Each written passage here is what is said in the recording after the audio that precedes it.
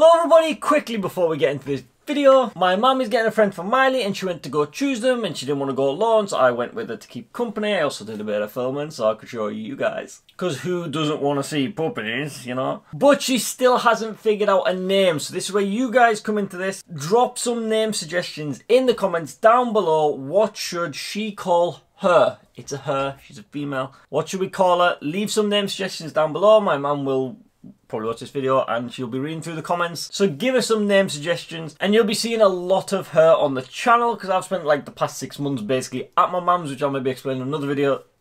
But when she's had all her injections, we'll be absolutely taking the boys round for a play date and stuff. So I'll shut up now. Here she is.